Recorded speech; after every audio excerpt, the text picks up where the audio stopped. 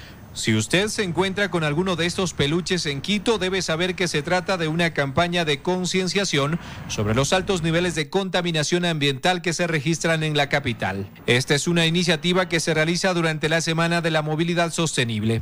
Más de 4 millones de 200 mil personas mueren al año por efectos de contaminación, por eh, efectos de la afectación de monóxido de carbono, la huella de carbono como comúnmente se llama. Nosotros ahora queremos hacer una prueba en la ciudad de Quito.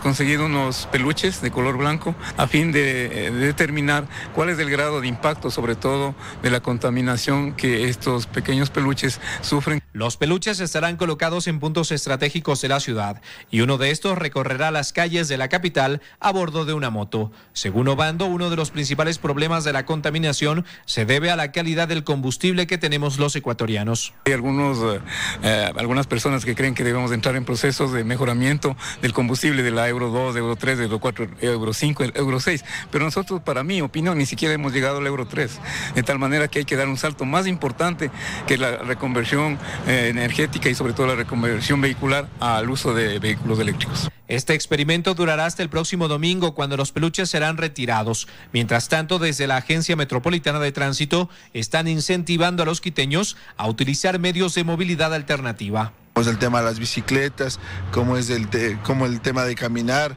Eh, otro tema interesante, eh, estamos lanzando una campaña que se llama Llévame B, que es el carpooling quiteño, en el cual los vehículos no anden solo con el conductor, sino que eh, se organicen entre vecinos, familiares, para que puedan eh, trasladarse a sus lugares de actividades, pero en un solo vehículo. La Semana de la Movilidad Sostenible coincide con la segunda semana del Hoy No Circula, medida de restricción vehicular que prohíbe la circulación diaria de alrededor de 120 mil vehículos. En Quito, Jorge Loaiza, 24 horas.